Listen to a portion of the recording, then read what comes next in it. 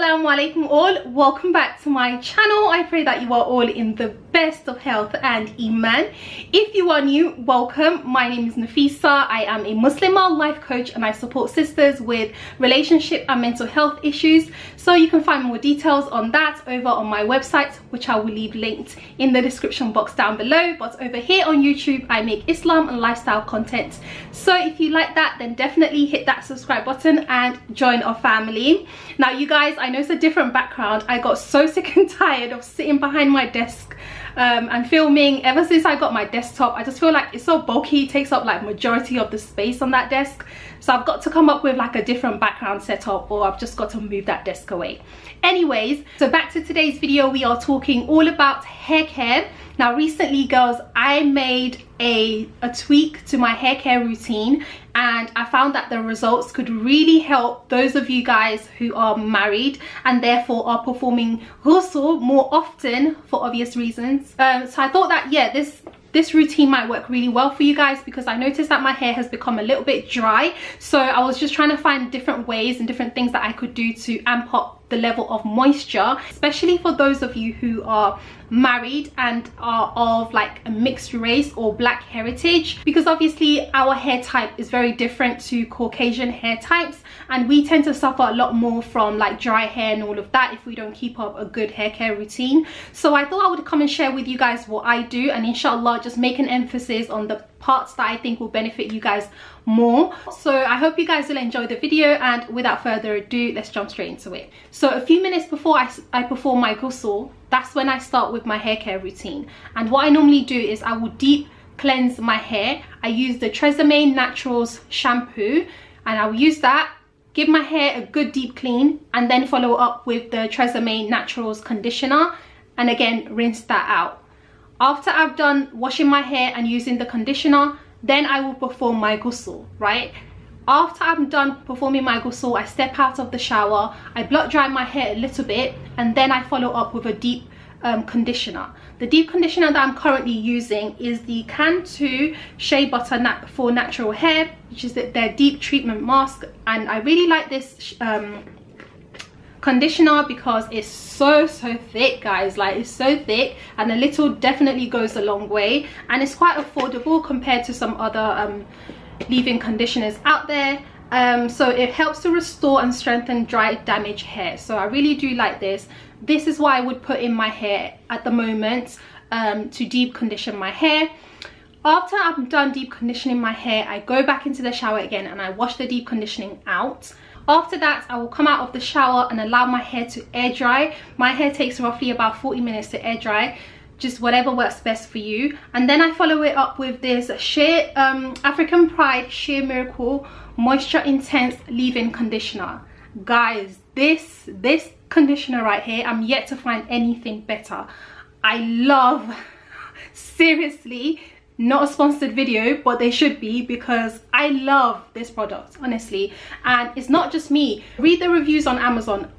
It it's so good okay? Um, what i definitely like about this is that it's light and you can feel that it actually does penetrate into your hair shaft. Like it actually moisturizes your hair without it being like oily and greasy now as you guys can see there's about half of this left in there. That is because i normally split it into two and i use one half to create my hair moisturizer. So my hair moisturizer is this leave-in conditioner as well as um, whipped up shea butter. So I take my whipped up shea butter and I add it in with this and I mix it up together and that makes my perfect um, hair moisturizer. So that's why I use to moisturize my hair.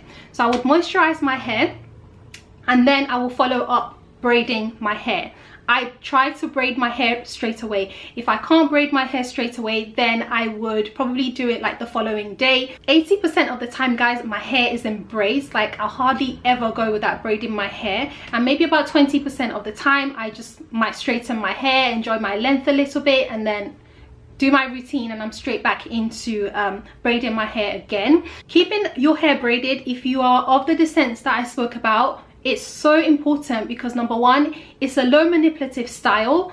Number two you can perform ghusl with just a few handfuls of water if your hair is braided.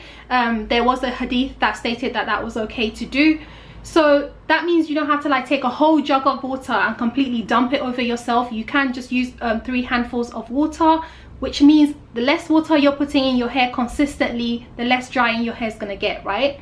So after braiding my hair i will leave the braids in for about a week. In a week's time after i've done i've done the first braids i will not take my braids out but what I will do is I will wash my hair with a little bit of shampoo and a little bit of conditioner and I would add warm water to it and mix it in really really well so that the water turns a little bit cloudy. And I would use that water to wash my hair whilst my hair is still in braids. Super important because me I'm all about low manipulative styles. Low manipulative styles have helped my hair grow so much so I don't mess with my hair unless it's necessary. That's why I keep it in braids most of the time. So I will use that water to wash my hair. When I'm done washing my hair, I will rinse it. And then I'm going to take my favorite oil, you choose the oil that you think your hair loves the most for me my favorite oil for my hair is almond oil take that oil take a handful of that oil and rub it all over your hair okay not whilst your hair is like dripping with water damp it a little bit and then apply about a handful of oil all over your hair then you're going to condition your hair i have a hair conditioning cap that i use this is, was about 30 pounds or so I will leave, leave something like this linked in the description box down below or this particular one if they still have it because it's been ages since I've had this. Um, but what you're going to do is you're going to condition your hair. If you don't have a hair steaming cap, you can leave the cap on your hair and then wrap your hair with towel. What you want to do is create heat so that the oil can penetrate into your hair shaft. So for me i condition my hair for about 30 minutes. Remember i have not taken my braids out. I have washed my hair whilst the braid is in with a little bit of shampoo and a little bit of conditioner. Then i've applied this oil to it and i sit under my cap for 30 minutes. Once 30 minutes is done i go and i rinse my hair when you are rinsing your hair with um, braids in it be very careful. Don't just do all of that and mess up your braids. Just gently just tap and just put your fingers through the gaps like that and wash your hair. Sometimes i will use a conditioner following the oil. If there's like too much oil in my hair sometimes i won't use a conditioner. Sometimes i just wash off the excess oil with lukewarm water. The water has to be warm guys um, I use lukewarm water to wash off excess, excess oil. Once I'm out of the shower from rinsing the excess oil out, I apply a little bit of my leave-in conditioner and I'm done. And I repeat that routine over the course of a month. So over the course of a month, I don't take my hair out. The only time that I take my hair out is at the end of my menstruation before I perform my ghusl and I repeat the whole situation that I explained at the beginning, okay? So once I'm done with that, over the course of a week i'm just applying a little bit of my moisturizer onto my hair and i'm good to go and on the second week i will repeat it again wash my hair with a little bit of conditioner a little bit of shampoo do my hot oil treatment and then just go about my business. Now what I found following this routine was that the following month when I took my hair out in order to perform my ghusl at the end of my menstrual cycle, I found that my hair was still super moisturized. And I think a lot of the fear for sisters who are of black descent or um, mixed race or have curly hair some of the you know fear that we have is our hair being dry because of the like constant performance of ghusl like some of you guys might be performing ghusl three to four times a week. So it's really important guys incorporate hot oil treatments as a weekly hair care routine if you are married and you have curly hair or you are of black descent or mixed race descent definitely try this out. It will leave your hair very very moisturized and also well conditioned. That's what another thing that i noticed was just the general health of my hair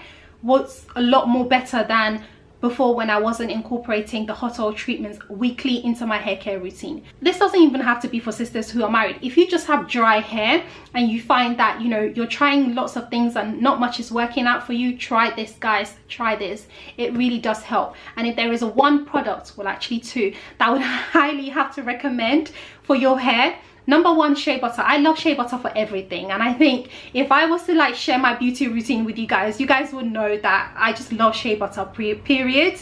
But this this leave-in conditioner seriously it's so moisturizing. That's what i like about it. It's not just like a grease ball of oil on your hair it's just super moisturizing. So i hope you guys enjoyed the video. If you did definitely give this video a thumbs up and subscribe if you haven't already.